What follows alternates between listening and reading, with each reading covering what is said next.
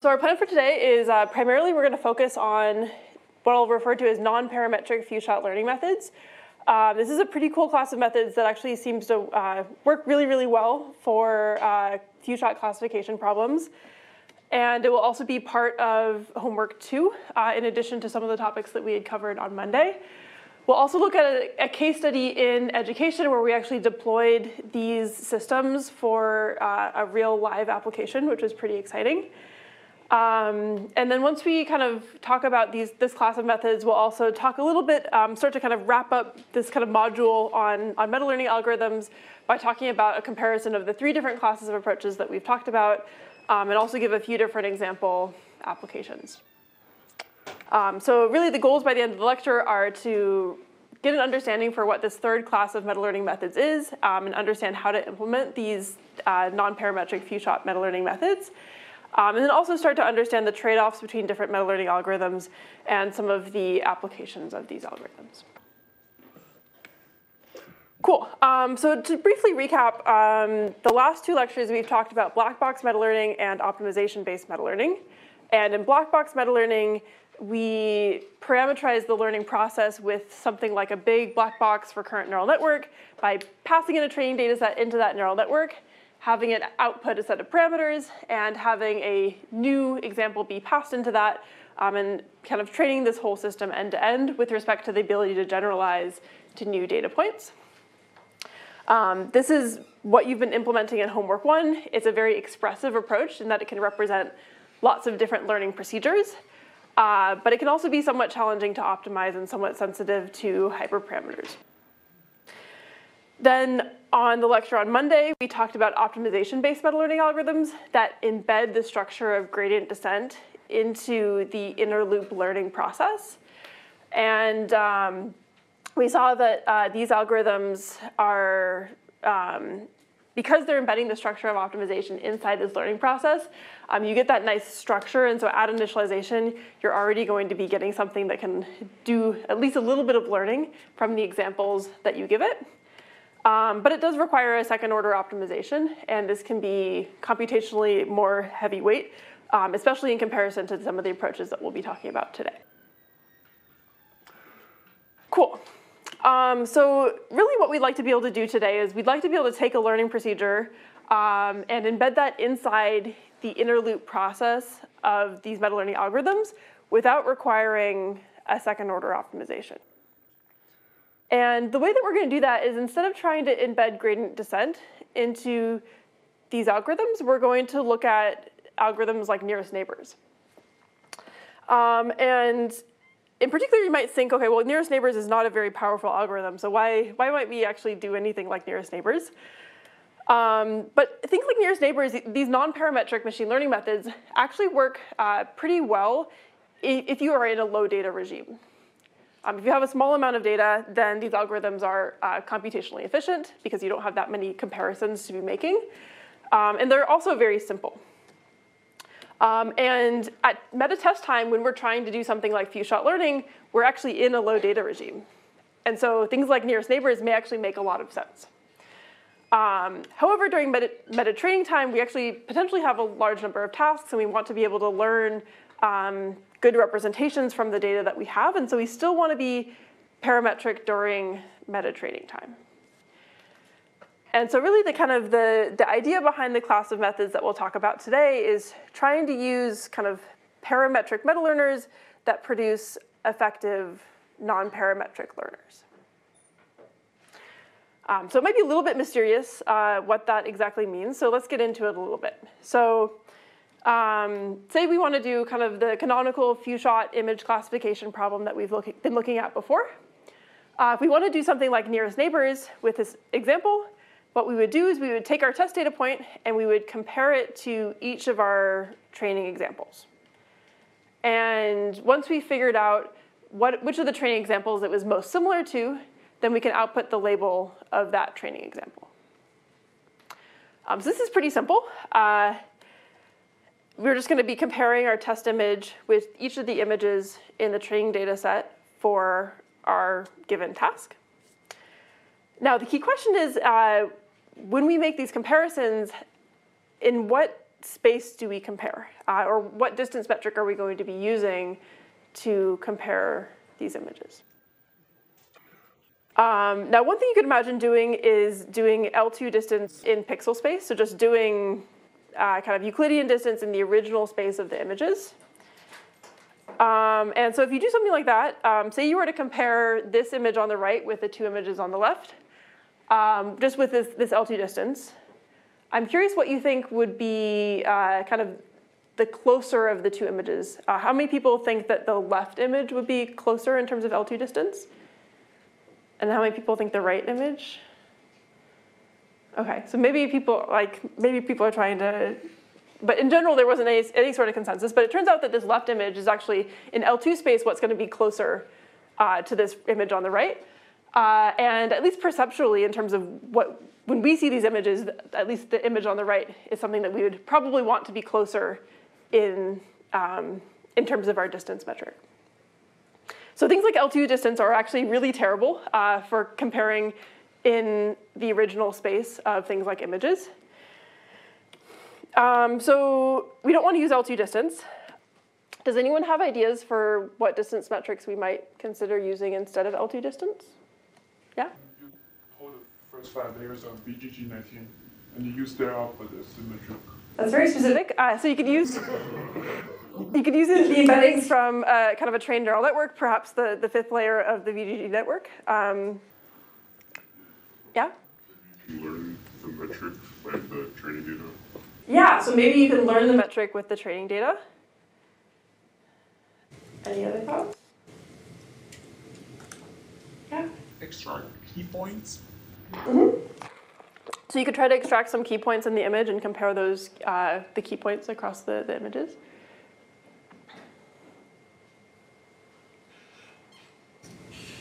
Yeah. I mean, similar to like a combination of things that people said, if you know your architecture, you could pull out as the relevant layer and maybe do like cosine similarities since it's huge um, feature space. Yeah, so you could do something like cosine similarity in a certain feature space. Yeah. This isn't a suggestion, but I just feel like I'm missing something. If we're talking about choosing a distance metric isn't not a parameter? Like, in what sense is this a non-parametric metric? Yeah, um, so the question was um, if we're choosing the distance metric, isn't that a parameter of the method? And so in what sense is this a non-parametric method?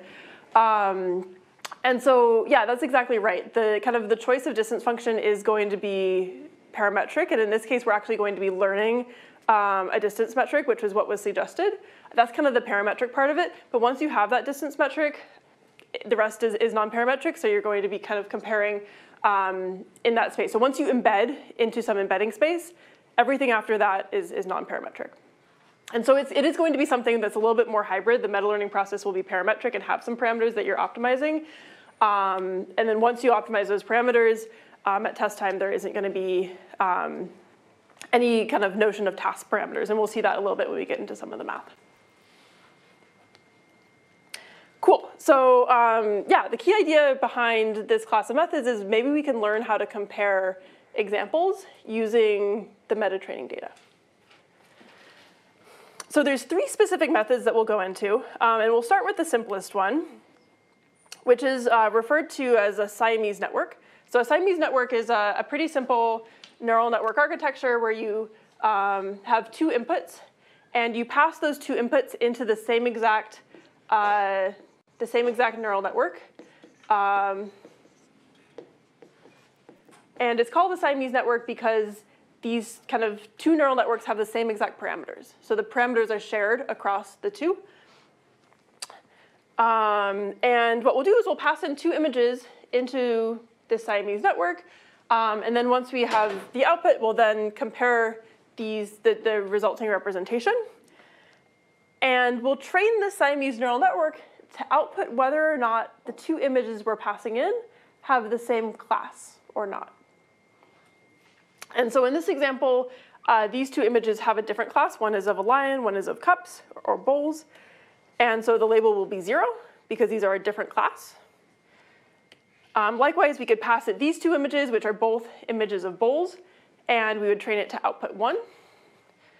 Uh, and so on and so forth. So whenever we give it two images that are different classes, we train it to output zero. Whenever they're both the same class, we train it to output one. Um, so the training process is a very simple binary classification problem. And you can do this with all of the kind of available meta training data that you have. Cool. And then once you have this Siamese neural network, what you can do is use this as essentially your similarity metric or your distance metric. So you can compare each of the, um, you can compare your test image to each of the examples in your training data set and ask this network which of the images is the closest. And so in particular, um, if we kind of go back to the example you had before, you would pass in all pairs of, of training example, comma, test data point, and ask it which has the highest probability of being the same class, and then output the corresponding label. Any questions on how that works? Cool, so training will be binary classification and test time, you're running these pairwise comparisons. And so if you have um, n times k examples in your training data set, you're gonna be um, actually doing n times k forward passes of this neural network uh, and finding, and then finding the probability that's the highest and then outputting the corresponding label. Um, so meta training is binary classification, and then meta test time will actually be a form of n-way classification. Yeah. There aren't both on one-shot learning then, I don't think. So you're asking this can't work for one-shot learning? Why can't it work for one-shot learning? Like if you only have one example of each class, then like you compare it to just that the network will just learn to predict identity or like kind of like that. So similar to what we saw in the previous two lectures, you, um, you need to have at least one example per class in your training data, in your, in your meta training data set. Um, and so in your meta training data set, you need to make sure that you're not, um, that for example, you sample two images per character or two images per class. Uh, and that ensures that you're actually going to train it to generalize versus um, for example, if you pass in the same exact image into the network, it would just learn to memorize and learn how to predict whether or not they're exactly the same image or whether they're slightly different images. Cool. So now, one thing that's like not super appealing about this kind of approach is that we actually have this mismatch between what's happening at meta train time and what's happening at meta test time. Um, and so in particular, if you were actually to kind of write out what happens at meta test time, you're going to get something where um, basically you're taking, we'll call this neural network F, or F theta. Um, you're going to be comparing the test example with um, one of with, with, each of your training examples. So you'll be looking at this for each of the xk in your training data set.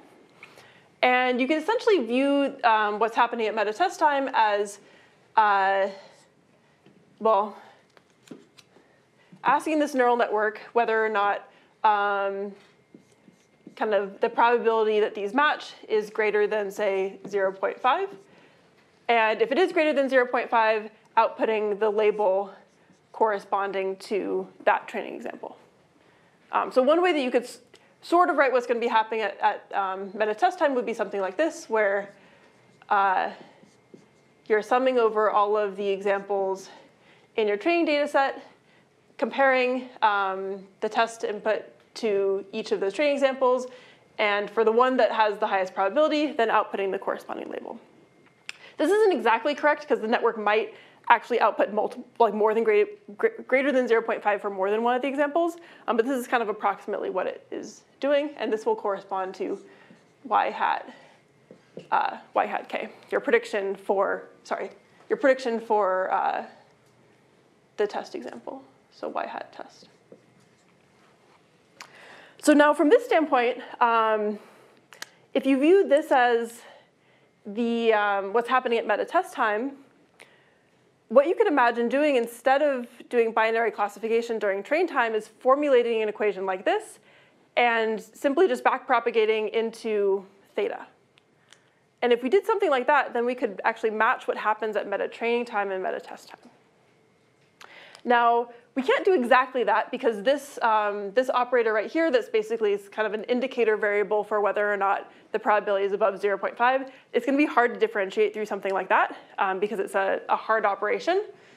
And so what you can do instead is do something softer where um, you simply uh, kind of multiply this probability by yk and sum over your examples in your training data set for a given task.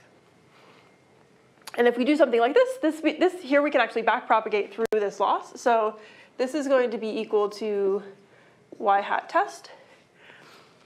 And you can actually optimize the parameters of this kind of of this network right here with respect to how accurate you are on test examples. And so in particular, um, the way this algorithm would look like is very similar to the existing meta training algorithms that we have done before, where first you sample a task. Um, so this might, if we were doing three-way classification, this might correspond to, say, three characters. Second, we sample two images per character. And then we, for the training data set, this basically corresponds to, it gives us our training data set and our test set for that task. We plug in our training data set into this equation here to then get a um, kind of an estimate for, uh, as well as kind of our, our test example from the test set to get an estimate for the label. And then when we actually go to update theta, we're going to be looking at um, kind of comparing the, I guess I should write this more as cross entropy loss. So um, we'll be looking at, um, what's the best way to, something like uh, y hat test log um, y test. I should have written this down before, but something, uh, I think the cross entropy loss is actually the opposite of this.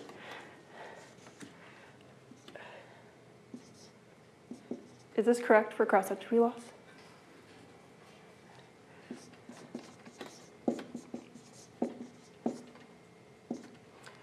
Something like this. Um, and so then you'll be uh, minimizing uh, the kind of parameters of our compare, um, basically our comparator function with respect to how accurate your predictions are.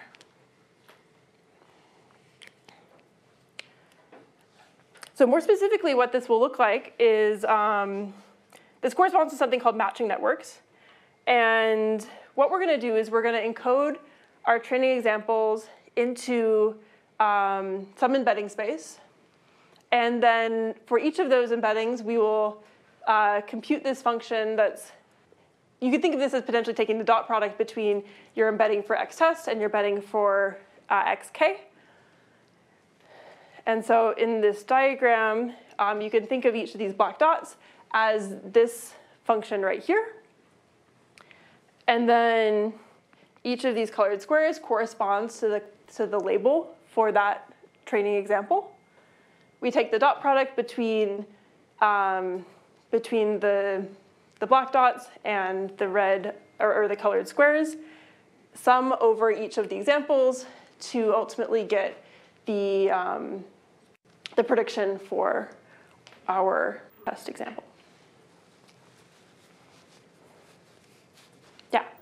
Um, how well do uh, these methods work uh, with unseen classes at inference time? So how will these methods work on unseen examples at inference time? So um, in general, as, as long as you train it on enough kind of the kinds of meta training scenarios that we've had before where you have enough kind of characters that you're training it on, um, it will actually generalize well to new image classes at test time. If you only train it on a few classes, then, then it will struggle to generalize. Yeah? As compared to other previous meta-learning approaches, are non-parametric methods they constrained to classification tasks only because you cannot learn anything else right here? Yeah, so um, that's a great, a great observation. So these methods are restricted to classification tasks. Uh, things like nearest neighbors um, are specific to classification. And it's not, uh, it's not trivial to try to extend these kinds of ideas to regression problems. Yeah. Why is the D test not going through the same embedding space as the train? Yeah, that's a great question. So um, one thing you might notice that in this particular architecture, they use a different encoder for the test example than for the training examples.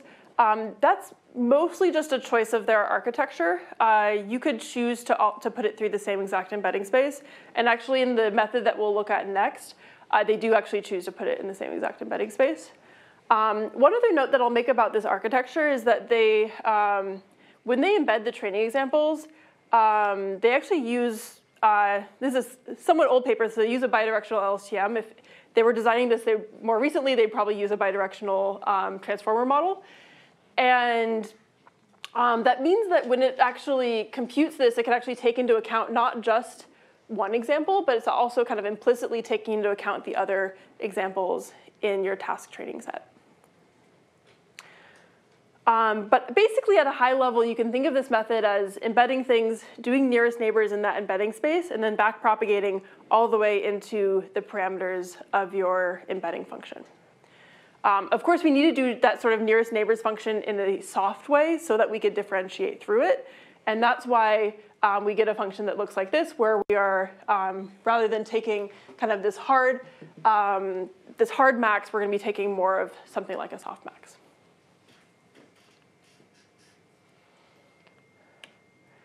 Um, so the whole thing is trained end to end, and this was really the first. Um, one thing that's nice about this paper is it actually really emphasizes how you should really try to match what's happening at meta training time and meta test time, and they, they're able to get substantially better performance than um, something like Siamese networks.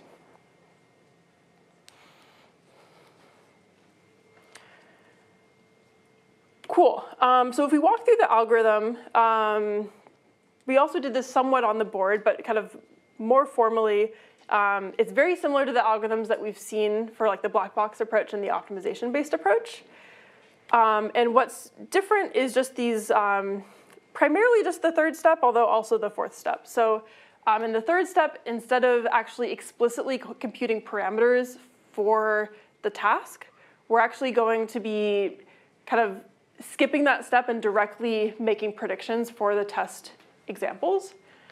Um, you can view this as kind of integrating out the parameters, the, the task parameters, and hence why we're referring to these as non-parametric few-shot learning methods. Um, and then of course, because we are, um, because we're just computing the, the test example, the test predictions directly, uh, instead of using a loss function in the form of step four, we're going to be updating the, param the meta parameters um, simply using a loss function that compares the predictions and the, uh, the labels.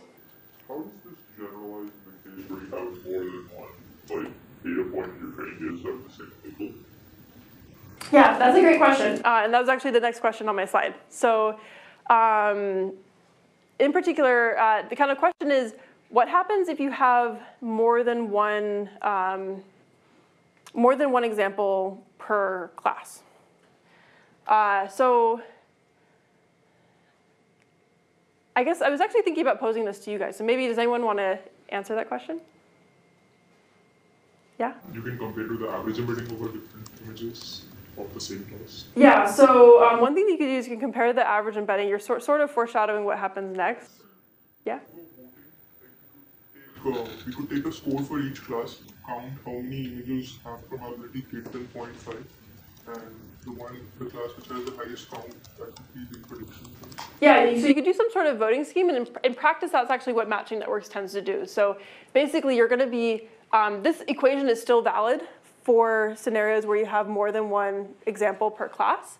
Um, and essentially, each of these is going to vote on what the label is. And if you accumulate enough votes, then you will, um, the kind of the thing with the, the highest kind of accumulation of those scores um, will then kind of win the vote and get the label, um, get to be able to make the prediction for the label. Um, now, uh, there's a downside to this voting approach, which is that all of the votes are kind of cast somewhat independently of one another.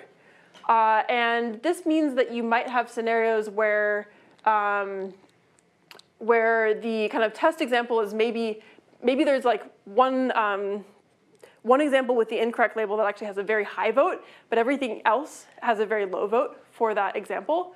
Um, and you might get examples essentially where the, um, where, um, where the kind of, that overpowers the other kind of actual correct label and doesn't give you exactly what you want.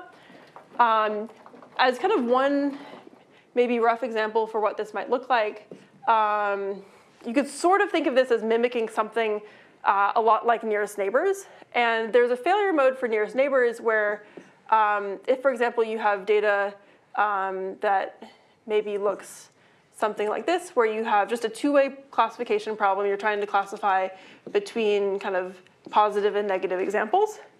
Uh, if you end up getting an example uh, that say like right here, for example, um, this something like nearest neighbors will give you a negative prediction, even though there's a lot of positives in this general vicinity. And if instead of doing nearest neighbors, you kind of aggregate information across the, the examples into kind of what we'll refer to as a prototype for each class, then you can kind of start to mitigate that issue. So um, if you form, if you, if this is your embedding space and you average the embedding per class, you'll get kind of one prototype that is maybe kind of somewhere right here for the positive class. And you'll get one prototype that's somewhere uh, maybe around here for the negative class. And then if you compare your example to these prototypes, you'll then see that the, um, the kind of distance to the positive prototype is less than the distance to the negative prototype, and then you'll get something that's closer to the right answer.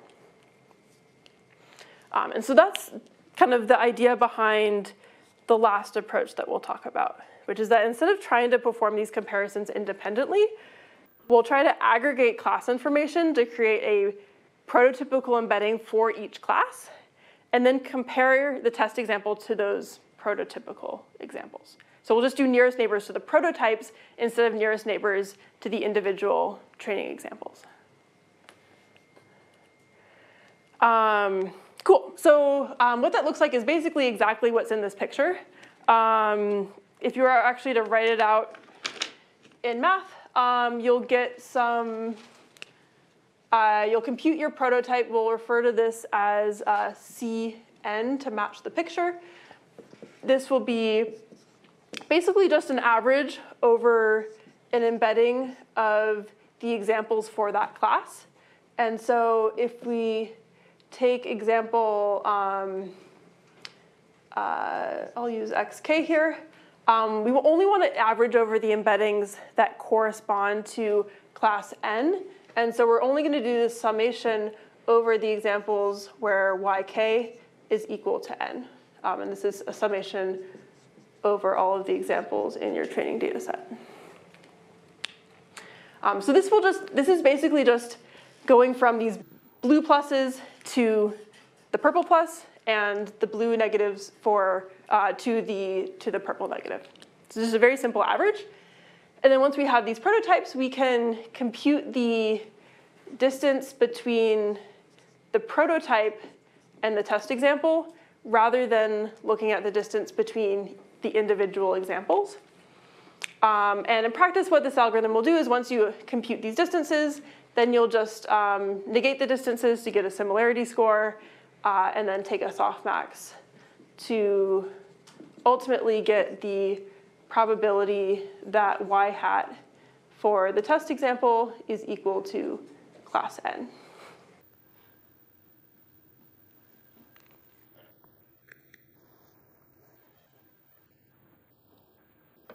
So written out on the slides, we're averaging over, we, well, we embed all of our examples using the function f, um, average those embeddings. And so unlike the previous slide, we're actually just gonna be using the same exact embedding function for our training examples and our test example. Um, and then this is writing out the full softmax equation um, where we take the distance, we compute the distance between the example and the prototype, um, and they, then kind of exponentiate and normalize in order to compute a probability. Can you write a little bit and for design choice, right? Yeah, so um, in the original paper, they use Euclidean distance or cosine distance as the distance function. Um, in practice, you could actually also learn a distance function, somewhat similar to what matching networks does here as well. Um, and so instead of using, um, you could, this could be basically a learned network.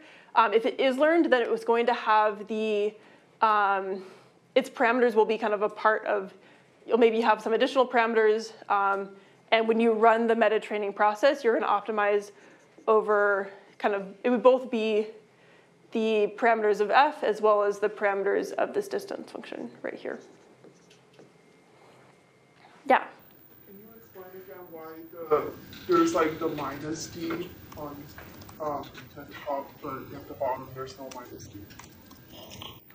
Um, why there's a minus d here and why, oh, that's a typo on the slides, definitely. Yeah. That's a great catch. Um, so on the slide, um, that should be a minus d in the uh, denominator. Yeah. In practice, how will this meta learning come forward? Like, is, is, Yeah, so there's a paper that I'll mention a few slides from now called Relation Networks.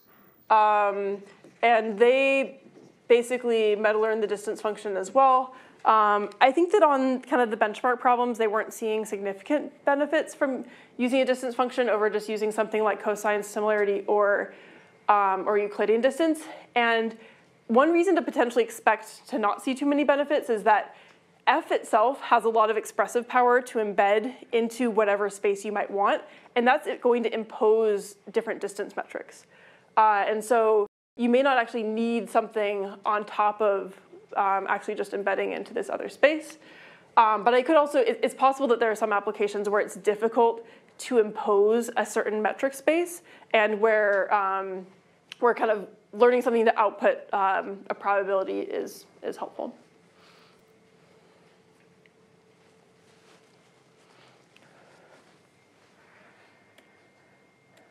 Cool. Um, actually, no. So it's actually on the right next slide. So this is the relation network pa paper. Um, they also do this sort of embedding, and then you um, you compare to them. Um, but then they lastly do this sort of um, have this kind of relation score that corresponds to this uh, this learned distance function. Now there are a couple of other things that you could do as well. So um, there might be some examples where some of your positive and negative examples are not easy to cluster nicely. So for example, if you're trying to classify between cats and dogs, you may have some breeds of cats that look a lot like dogs. And if you have something like that, then maybe you actually have kind of a cluster over here of negatives.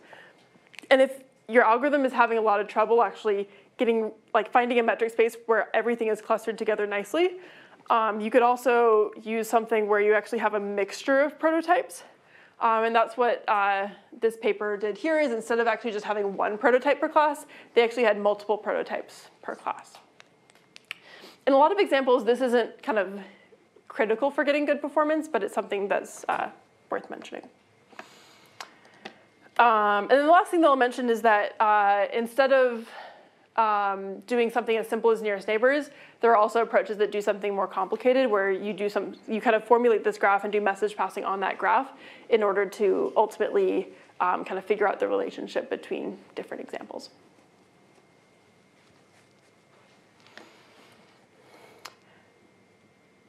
Cool.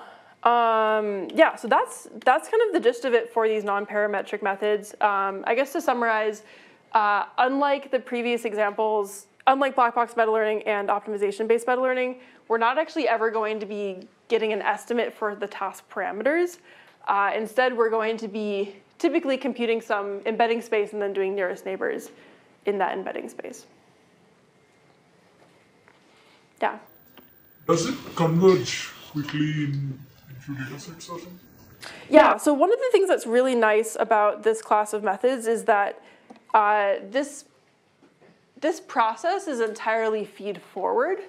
So you, you kind of compute your embeddings in a feed forward manner, and then you compute your prototypes, and then you do this, this kind of distance function. Um, so it ends up being, like you don't have to do any sort of gradient descent process. Um, it ends up being pretty lightweight and pretty fast to train. Uh, and so you'll see in homework, um, in homework two that this class of methods can actually be quite nice for, for classification problems. Yeah. What's missing? Passing, uh, message passing the last idea.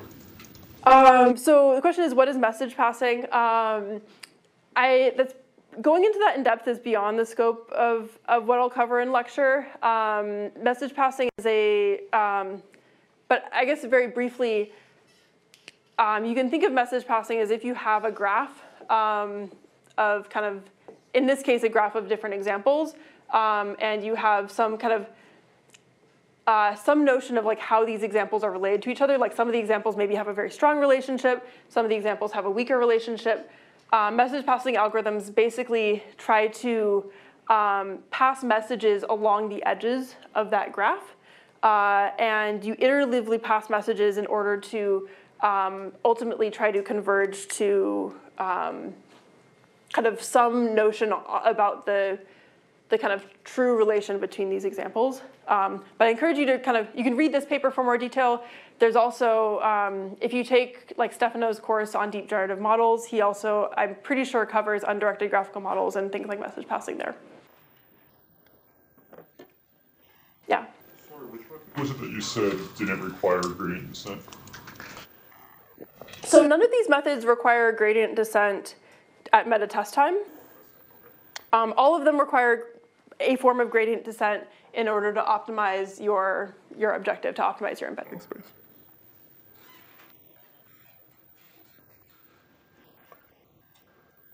Cool. Um, so I'd like to kind of run through a case study of actually using this algorithm in practice. Um, I put one example of a previous year's case study on the slides um, that was actually in a pretty cool healthcare setting where they're looking at image classification of um, trying to classify different skin conditions and skin diseases.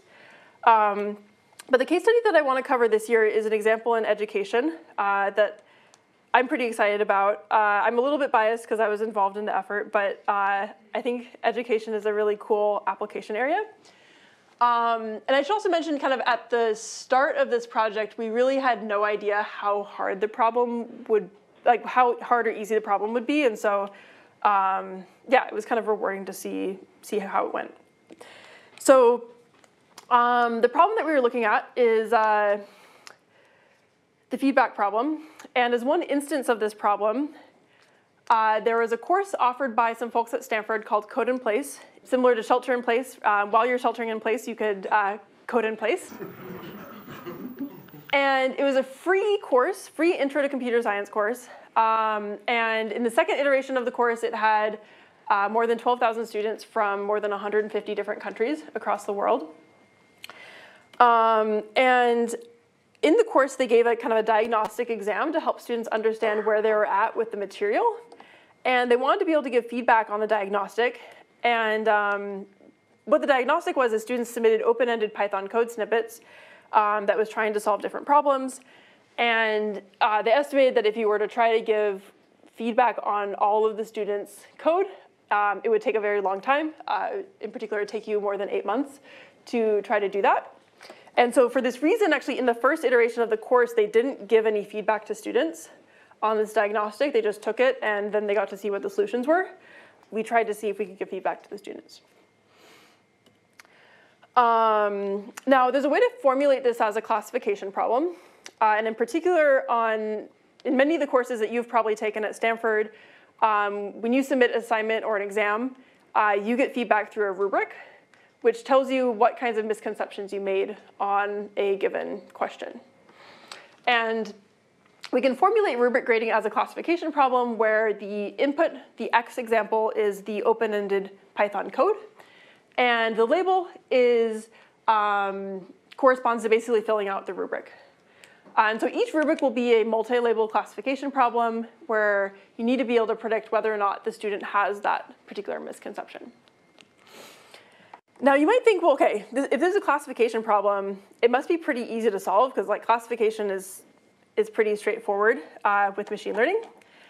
Um, but the challenge with it is that um, first we don't have that much annotation data. We don't have tons of data on the internet that tells us like feedback on student programs.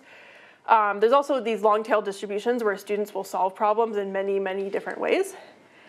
Uh, and then lastly, and perhaps most importantly, uh, every time you give an assignment or an exam, usually it's somewhat different from the previous time that exam or assignment was given. And so as a result, the, and then also oftentimes the TAs are different, the instructors are different and so forth. And so um, you don't have kind of a, a static data set or a static problem. Um, you actually have lots of different assignments, exams, rubrics, student solutions, and so forth. Cool, so does anyone have any ideas for how you could frame this as a meta learning problem?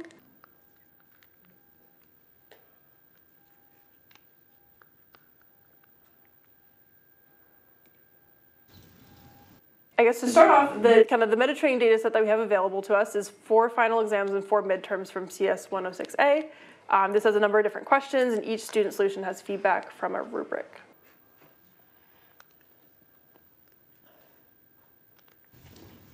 Yeah?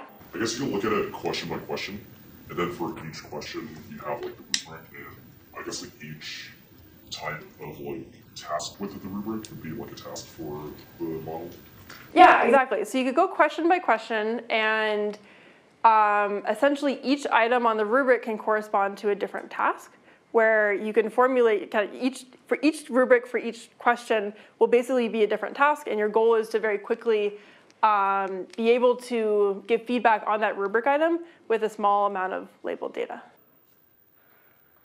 Um, and so each rubric has several items, um, and every question has possibly its own set of rubric items and options. And so for that reason, you can basically have each rubric item as a different task. Um, so if, if you had a string insertion problem and your rubric looks something like this, where maybe um, one option is for the solution to be perfect, another option is for the, um, for the student to kind of incorrectly, um, incorrectly insert the wrong character, and so on and so forth, then each item here can be just a different task for running meta training. And then once you have all these tasks, um, you can apply the meta learning algorithms that we've looked at in the class. Um, and so what we're going to do is we're going to apply prototypical networks, which is what we talked about on the last slide. Um, there's also a typo in this equation again. Uh, and X corresponds to a sequence of discrete tokens. So it's going to be, in this case, Python code um, or pseudo Python code, depending on how good the student was. And the embedding function, because uh, it's going to be text, we're going to use a BERT-based model um, called the RoBERTa model that's going to take as input the Python code and output an embedding of that Python program. Um, and then, unfortunately, uh, when we use prototypical networks out of the box with the RoBERTa model, uh, it doesn't do very well, and so uh, attention isn't quite all you need. and um, there were some tricks that we needed to get it to work a lot better. Um, the first was that instead of only using the tasks from the rubrics in our data set, we can augment those tasks with other tasks that can be constructed in a self-supervised manner. So um, we can construct a task, for example, by predicting the compilation error that Python returns if you try to run the program. Um, we can also construct tasks similar to masked language modeling, where you are trying to predict the token that has been masked out. Uh, and that can also be formulated as a classification problem where you want to classify whether or not that token is a for token or an in token, and so forth. So that's going to augment our data set um, significantly. Another thing that we can do is instead of only giving it a few examples, we can also incorporate side information. Uh, so we have information about the name of the rubric option as well as the text of the question. And we can basically pass this into the embedding function uh, to inform the network what the task might be. Um, and so when we encode the program here, um, we're also going to prepend the side information, um, which will also be encoded with a, a BERT-like model.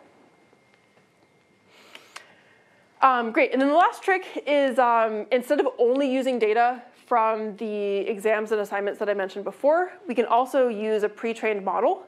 So um, instead of randomly initializing the RoBERTa model, we'll pre-train it on, um, with a model called CodeBERT that was pre-trained on a ton of unlabeled Python code uh, from the internet. Cool. Um, so the gist of the method is still prototypical networks. It just is that there's kind of three small changes to it. One is that we are using these additional tasks.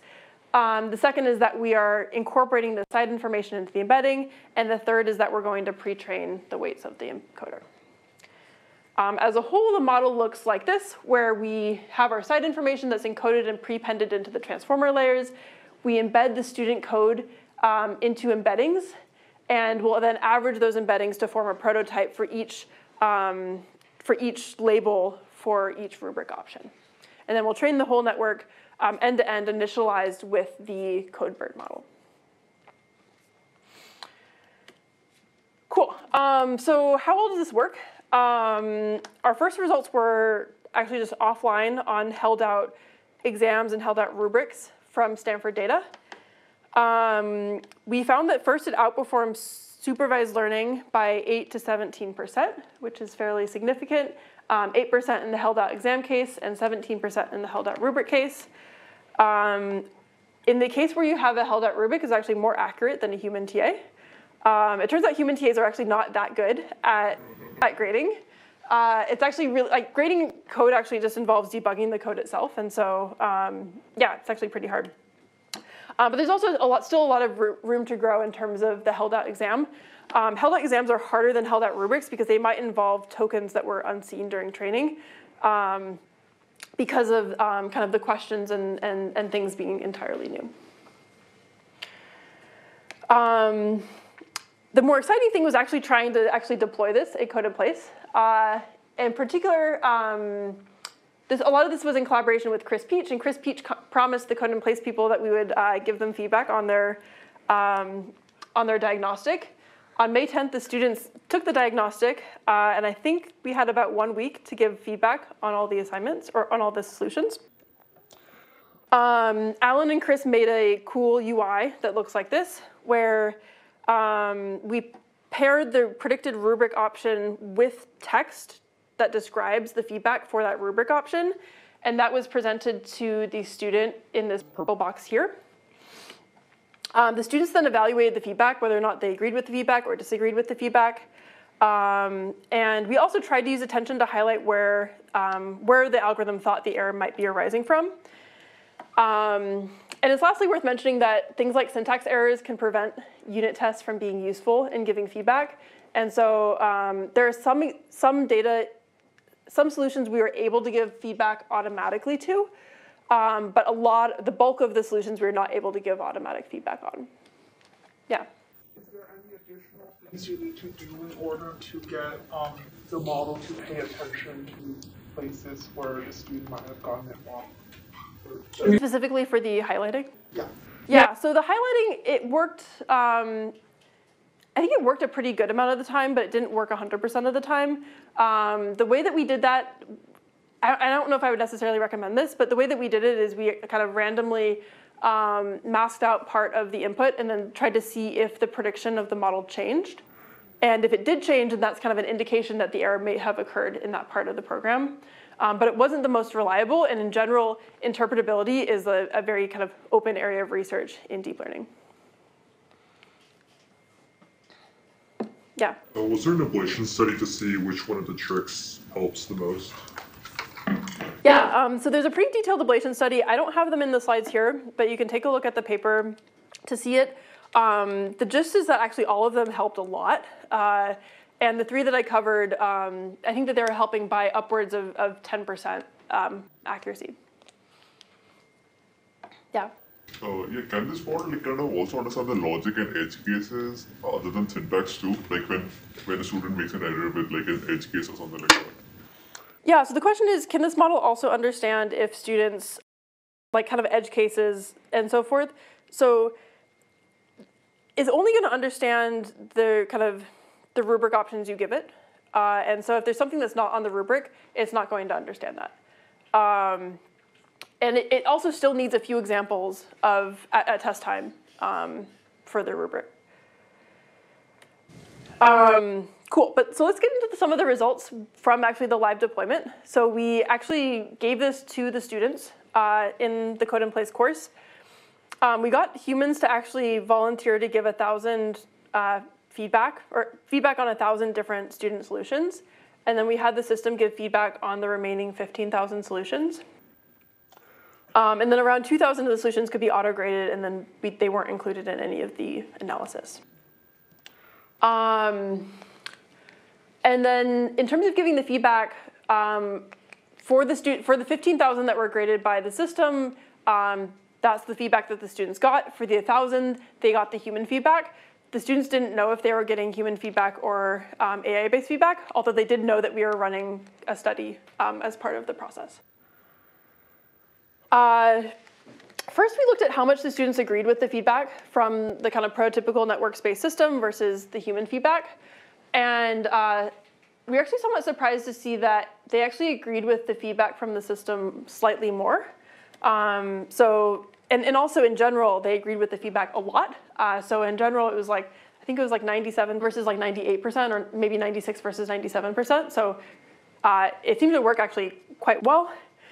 Um, now, they might agree with the feedback, but not actually find it useful. For example, if you always said good job, they might kind of agree with that, but not find it very useful. And so we asked them how useful they found the feedback out of this kind of a rating from one to five. And they gave it a kind of a 4.6 out of five in terms of usefulness, which suggests that they actually find it useful in pointing out their misconceptions. Yeah. AI gave, gave feedback on 15,000, but not all of the students would have responded with yes or no, right? Some of the students would not have responded at all. So is it like, is this like combined bias because it went to more students, it went to something, so there's a student who like gave a label. And for the 1,000 students, it would like unlucky to get the students to like give the feedback properly. So like, So you're asking, what about students who didn't give feedback on the feedback? Is it reflective of like biases in like students getting or not getting the feedback, like the result that you're getting, is it? Yeah, it's a great question. Um, I mean, so first the students didn't know if it was human feedback or not, and so this comparison should very much hold water because they're not going to just they're not going to like abstain at different rates. Um, the other thing that we did is in the interface we gave the feedback one by one, and to go to the next one, to actually see the feedback for the next question, they had to give feedback on the first question. Uh, and so we, yeah, we required that they kind of stated whether or not they agreed with it or not. Um, it's possible that not all students actually looked at the feedback. Um, I don't know exactly what the rate of that was. Yeah. Did experts also grade this apart from just students by any chance? Um, so, sorry, The humans here were actually kind of um, basically volunteer TAs for the course. The AI feedback, uh, did any experts also review the feedback and uh, said whether the feedback would be useful or Got not? it, got it. Yeah, we did not have um, experts look at the feedback. So th- these were the only evaluations that we ran. Yeah. Is there a difference in the usefulness found between the AI feedback and the human feedback? Um, that's a good question. I I don't know off the top of my head, but I think the answer was no. And I should mention that the in some ways this is like kind of a hybrid human AI system in some ways because um, this text was written by Chris actually, uh, and so it was it was doing the bulk of the work, which was to figure out which rubric item it was. Um, and then for each of those rubric items, Chris wrote that text, and the, the text from Chris was was put in the box. Um, this still saved like almost all of the work needed to give feedback because Chris just needed to enter that text for each of the items in the rubric once. Um, but I think that because of, because it's very similar, I wouldn't expect there to be a significant difference in usefulness.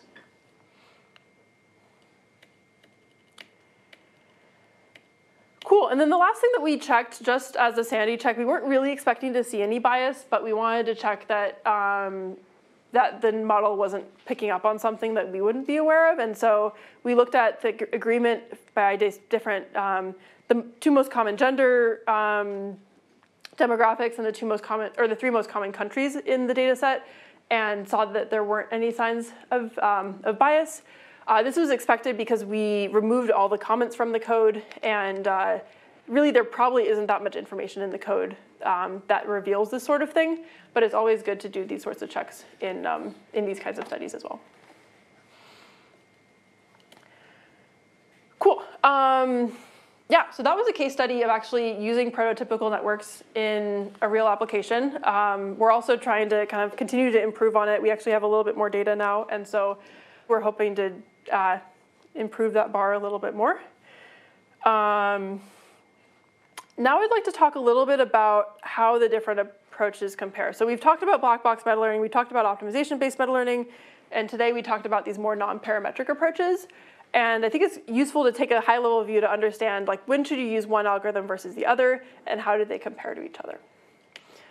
Um, first, we can compare them at a conceptual level. So um, we mentioned we walked through this kind of computation graph perspective on meta learning in Monday's lecture. And we saw that both black box meta learning and optimization-based meta learning are both a computation graph that takes as input the training data set and the test example and makes a prediction for that test example. Um, Non-parametric approaches can be viewed in the same exact way. Uh, so you can also view something like prototypical networks as having the same form of computation graph. Um, it's just what happens on the inside in the inner loop that differs between it. Um, and so in particular, the, um, the, yeah, it makes its predictions for um, test inputs using something like nearest neighbors or nearest neighbors to prototypes, um, where the equation for the prototype is kind of the average embedding. So as a whole, you can sort of view all of these approaches as being um, kind of the same family of meta learning algorithms, and they're all optimized end to end with respect to some meta learning objective. The difference is just whether or not you don't give it any structure at all and you represent it as a neural network versus embedding gradient descent versus embedding something like nearest neighbors. Uh, and this also suggests that it's possible that there may be a fourth class of approaches that, approach that comes up that embeds something that looks a little bit different from these other methods. Um, and like we mentioned before, you can also, again, kind of mix and match different aspects of this computation graph and get algorithms that aren't clearly in kind of one of these three buckets. Um, so for example, there are algorithms that both kind of condition the network on the data and run gradient descent. Um, so that would be a hybrid between a black box approach and an optimization-based approach.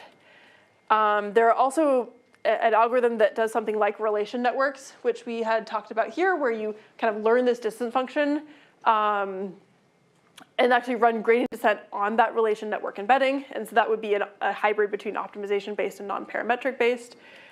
Um, and then there's also approaches that do something like MAML, but initialize uh, the last layer as, um, as a prototypical network. Um, so I guess in general, I think it's useful and pedagogical to think about these three different categories, but there really is a, a, spectrum in between these, and there's lots of algorithms that don't fall into one of these three categories super cleanly.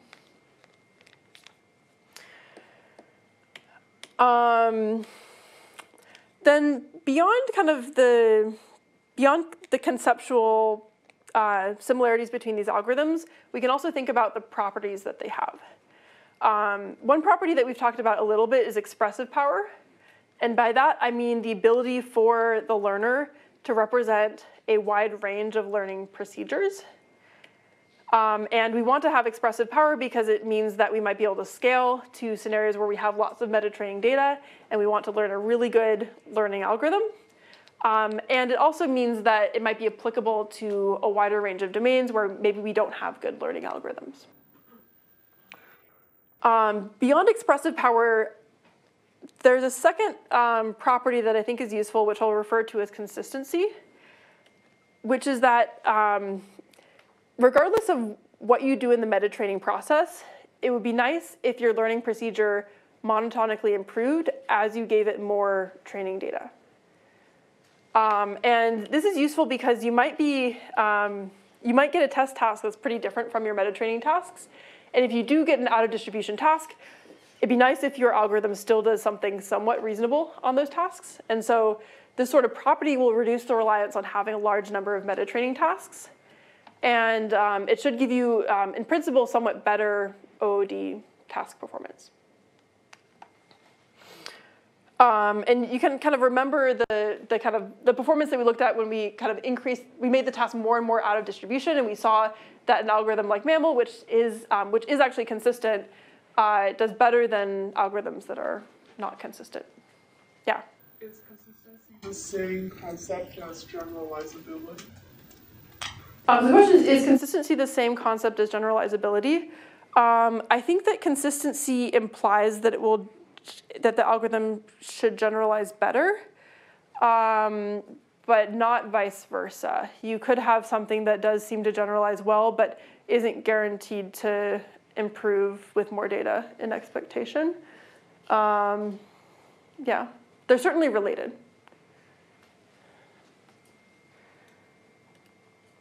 Cool. Um, so I think these properties are pretty important for a lot of applications. Um, we, and we can think of each of these algorithms within the context of those properties. And black box methods have complete expressive power, but are not consistent. If you give them more data, they won't necessarily get better.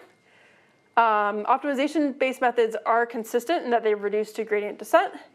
And they're expressive if you give them a very deep model um, for supervised learning settings. Um, and then non-parametric methods are expressive for most architectures um, that you that you give it, um, and under certain conditions, they can also be consistent. Um, essentially, you can expect them to be consistent if the um, if your embedding function doesn't compress too much about the input. Um, if it compresses, uh, if it compresses too much, then it may no longer be consistent because you may have uh, two examples that are very similar to each other, but your embedding space doesn't actually put them as, as similar to each other because it kind of compressed away some of the details. Um, and then beyond these properties, um, I think there's always like, there's, there's other pros and cons of these algorithms as well. Um, we talked a little bit about the pros and cons of black box and optimization-based methods in the previous lectures. And these were that black box is easy to combine with a variety of learning problems, but can be challenging to optimize, and as a result, be data inefficient. Um, Optimization-based meta-learning algorithms have a positive inductive bias at the start of meta-learning, and they also are pretty good at handling varying amounts of k and large numbers of examples well because you're averaging across those examples when you compute the gradient. Um, but they involve a second order optimization that uh, can be compute and memory intensive. Now for non-parametric approaches, um, they're kind of an entirely feed-forward process. You never have this sort of gradient descent step. And so as a result, they end up being computationally very fast and usually pretty easy to optimize. Uh, in practice, people have found that if you have varying k, it's somewhat harder to generalize to varying k. I don't ha honestly have great intuition for why this is the case, but it's kind of an empirical observation that people have made in the past. Um, and also that it uh, can be difficult to scale to very large k. Um, the reason why it's difficult to scale to very large k is because you have to make um, you have to make comparisons to all the examples in your training set. And in general, nearest neighbors and non-parametric methods don't scale to very large data sets because you have to, um, because the kind of the runtime of your algorithm is, uh, is OVN. Or, or, or OVA n times k in this case. Um, and then the last thing which was mentioned before is that uh, these methods are entirely limited to classification. Um, yeah. Cool. So, um, and then I guess the other thing that I'll mention here is that on many few-shot learning benchmarks, uh, if you tune these algorithms well, oftentimes you'll see that all three of these can perform quite well on those benchmark problems. Uh, I think this says a little bit more about the benchmarks than, than the methods. I think the benchmarks may just be a little bit too easy. Um, and I think that the met which method you use will depend on your use case. So in general, um, my recommendation is if you have a supervised classification problem, I think that non-parametric methods are, um, are, would generally be my recommendation because they're very fast and easy to optimize, um, and they tend to work well for classification. Uh, but if you don't have a classification problem, then you need to use one of the other two approaches. Um, and usually in that case, I might recommend an optimization-based meta-learning approach. Um, and uh, there are a few instances where I might recommend a black box approach. Um, black box approaches I think are actually quite useful in scenarios, um, in, in, reinforcement learning scenarios, uh, in part because we don't actually have good inner loop optimization methods for reinforcement learning. Um, and then lastly, if you have a ton, a ton and ton of data, um, things like black box approaches can, can make sense because they're so expressive uh, and because you don't care as much about data efficiency. And that's why we've seen things like GPT-3, uh, I think, be very effective with um, a black box model. Yeah? Uh, what, what do they exactly here mean by entirely feed forward? We are, we are doing a training, right? Right, so by entirely feed forward, I mean that at- at meta test time, it's entirely feed forward. So like the inner loop process is a feed forward computation graph. Um, and actually the same could be true for a black box model as well, although black box models often may have some amount of recurrence. Um, but yeah, so I mean, in contrast to optimization-based methods where you're running gradient descent at test time, these approaches are just a forward pass through, um, through, things, through, through a neural network. Yeah. So for all these meta learning um, algorithms, we still need to have like a bunch of like a, a very large number of tasks we from. If we if we have like a small number of tasks, or generating a new task is still uh, expensive. So like we only have like dozens of tasks instead of hundreds or thousands. Would you still recommend using multitask learning instead of meta learning, or are there ways to that? Yeah, so the question is, um, all these methods require a fairly large number of tasks, and if you have a small number of tasks, um, would I recommend using multitask learning instead of meta learning? Yeah, so um, first off, I would say that in general, um, in settings where you have a small number of tasks, uh, things that, that, that's where consistency can be very important because if it is still running something like gradient descent on that new task, then uh, it is less reliant on having a large number of meta training tasks. Um, the and then there's I think two others two other things that you can do when you have a small number of tasks. Um, the first is that you can do task augmentation, which we saw in the education example. In some scenarios, it's it's um, it's possible to come up with those kinds of tasks. In other scenarios, it might be more difficult. Um, and then whether or not to use multitask learning or meta learning, I think is um, it depends a lot on the particulars of the problem. Uh, the, in general, if there's a small number of tasks, I do think that multitask learning can be a, can be a better approach, especially if, um, especially if you don't mind training on all the tasks at once. Um, whereas in meta learning, one thing that's nice about these meta learning algorithms is you can train on all your meta training tasks first, then kind of encapsulate that into a model, throw away kind of your, your meta training task data, and then apply that to the meta test task. So um, I think that generally the um, whether to use kind of meta learning or whether you use multitask learning will depend uh, depend a bit on the considerations like that. Yeah. For the supervised classification setting, let's say your code, uh, for code uh, review example, uh, why do you prefer non-parametric over optimization based? Because I think these are consistent and is it just for the computer or is it like there's another reason as well to pick it over optimization based? Yeah, so the question was um, for classification tasks, is there a reason to prefer non-parametric methods over optimization-based methods? Um, and generally, my recommendation is just because of compute. Um, these will require, uh, generally will typically require less compute um, during the meta training process. They'll also be a little bit lighter weight. And so in the education example, when we had, um, when we were processing Python code with these BERT-based models, trying to do a bi-level optimization with a BERT model um, gets computationally expensive fairly quickly. And if you have a, a feed-forward process, it's, uh, these computational benefits are quite nice.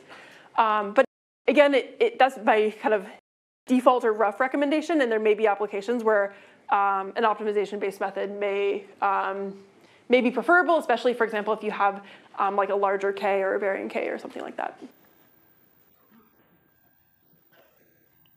Yeah. If there were intermediates or there was a spectrum between these, what would be a combination between a non-parametric method and one of the other two? Yeah, so um, I mentioned one combination on the on the previous slide, and in particular, what it was doing is it was um, it. Oh, I didn't mention on this slide. Which slide was it? So uh, these second two methods are kind of examples of hybrids of non-parametric and optimization-based methods. Um, for example, the second one, it actually kind of learns this embedding space and then does gradient descent on that embedding space. And so that's a little bit of a hybrid. I also think that matching networks itself is somewhat of a hybrid between non-parametric methods and black box methods because it uses this kind of bidirectional LSTM to, to encode the examples in the training set.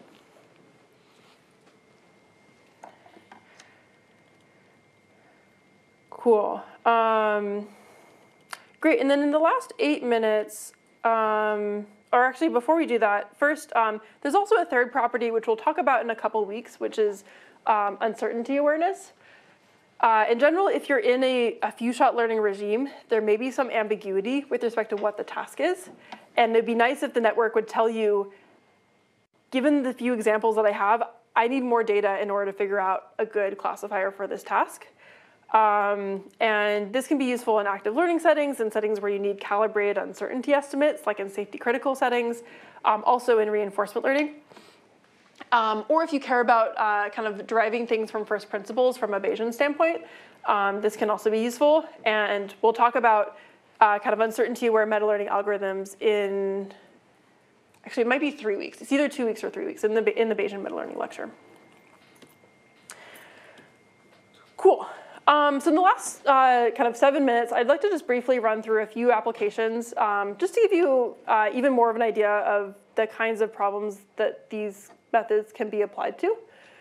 Um, and also, um, in some ways, some of these are actually somewhat creative and actually how they, how they use meta-learning algorithms. So in the first lecture, I showed you this video of um, doing one-shot imitation learning. And the different tasks corresponded to manipulating different objects. And the uh, kind of training example corresponded to a video of a human, and the test example corresponded to a teleoperated demonstration of, um, of that task. Um, the model here was an optimization-based meta-learning algorithm, so it was something like MAML. And one thing that was cool about this is that uh, when you have a video of a human, you don't actually have labels. Uh, you just have input images. You don't know what actions the robot should take. And so this approach actually used a learned inner loss function. Uh, and so instead of only learning the initialization of the model, it also learned a loss function that was used to run gradient descent in the inner loop. Um, and so this is an example of something where uh, instead of, yeah, instead of only op, like meta learning one component of the system, you can meta learn other components of the system as well. Um, and so kind of um, the way that this ended up working is that at test time, you give it um, a video of a human doing the task. It runs gradient descent on this video with the learned inner loss function uh, to get a policy for the task. And then the result of running that policy on the robot is something like this, where um, it can successfully figure out that it should be going to the red bowl. Um, a second example uh, is looking at pr predicting the properties of molecules. Um, this is potentially useful in drug discovery problems where you only have a small amount of experimental data for a given molecule. Um, the, uh, the task is to predict the properties and activities of different molecules. Um, for example, you might have some experiments that are cheaper or easier to run, and you want to predict uh, kind of activities that are more expensive to run. And um, here they used optimization-based methods. They actually looked at MAML, first-order MAML, um, and uh, a variant of MAML that um, only updates the last layer of the model in the inner loop. Um, and they were using a uh, kind of a graph neural network as the base model. Um, and they found that these meta-learning algorithms were able to do better than uh, fine-tuning or k-nearest neighbors. Uh, and then the last application that I'll mention here is uh, few-shot motion prediction. Um, this could potentially be useful for human-robot interaction where you want to predict the motion of people, um, or in autonomous driving where you want to predict the motion of other cars. And the tasks correspond to different users and different underlying motions, basically different trajectories. Uh, and the training data set correspond to the past k time steps of motion, and the test set correspond to the future seconds of motion. Um, they used kind of a hybrid of an optimization and a black box approach here. Um, so they had this kind of learned update rule in the inner loop. And um, they were able to, uh, yeah, in this case, predict kind of the motion of these human skeletons uh, fairly accurately. Um, and were able to do so much more effectively than a multitask learning approach or, or a transfer learning approach. Cool. Um, so those were just three applications that I think are kind of uh, survey the spectrum of kind of problems that you might look at in meta learning uh, examples. Um, there's last, lastly kind of one closing note that I'd like to mention, which kind of gets at one of the things that we saw in the first application. um, which is that kind of so far, whenever we sample a kind of a train set and a test set, we've been looking at examples where we kind of sample them IID from the same distribution, and they don't actually need to be sampled independently from one another. Uh, the training data, the kind of the inner loop training data that you're learning from, it could have noisy labels, it could be weakly supervised um, and not actually have exactly the label that you want. Um, it could have domain shift that's different from uh, what you see in the outer loop test examples. Uh, and this is kind of cool because it means that you can actually kind of meta learn for learning procedures that are more robust to noisy labels, that can learn from weak supervision, that can learn from other forms of supervision than typical forms of machine learning. Um, and so, yeah, in general, the inner loop and outer loop don't have to be the same. Um, on this note, it is really important for the test set to be a well-formed machine learning objective because that's going to drive the meta-learning process and optimize for that learning procedure. Um, but it's really the inner loop that can be uh, almost anything that you want in some sense, um, although you do need to have enough supervision and enough information in that inner loop for the model to be able to infer what it's supposed to be doing. Yeah. This true for black box too? Yeah, this is true for black box too. So um, when you pass in your um, your examples, your X train and Y train, you could have noisy examples, like noisy labels that are being passed in, or you could have um, supervision that's a little bit different than kind of a one-hot vector, for example. The reason I asked the question is does domain shift mean the scaling and the shifting that was done for the MAML? Yeah, so for domain shift, um, kind of what I had in mind there is, um, say you want to learn a classifier uh, between like, maybe you want to learn an image classifier, and you want to be able to train an image classifier with like sketches of things, um, so that if you give it like a sketch of a cat and a sketch of a dog, it learns a good cat versus dog classifier. Then dtrain could be sketches, and dtest could be natural images. Um, and black box methods could work well for that, or, or optimization-based methods, or, um, or possibly things like prototypical networks. Um, I guess in that example, I would guess that black in general, black box methods could actually be a better choice in some of those scenarios because it is very expressive in the learning procedures it can learn. Um, and like for things like, but, but yeah, in general, like expect kind of uh, all the algorithms that we've covered to be able to handle these kinds of things.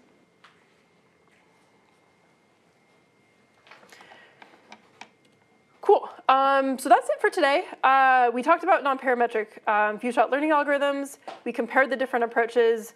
Um, this is the last lecture on meta-learning algorithms, and next week we'll talk about unsupervised pre-training methods and also a little bit into how these relate to meta-learning algorithms and how you can view some of them in a similar light. Um, and then there's also some reminders about coursework on the right.